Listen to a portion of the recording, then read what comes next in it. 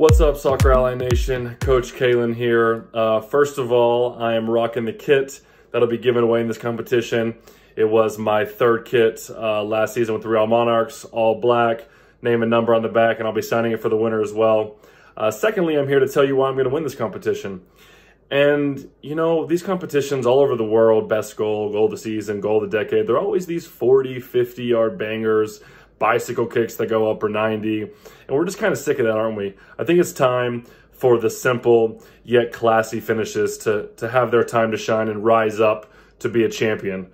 And I have two goals in this competition, both very simple yet very classy. So let's get out there.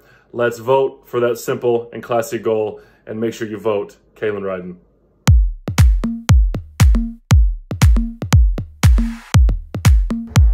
Guys, Coach Hugo here. Thank you guys so much for participating in this challenge, this tournament. Uh, I got the best goals in it by far, so I would really appreciate your votes.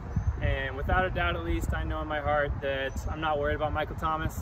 Uh, if I get him in the next round or something, hands down, I'm going to be beating him.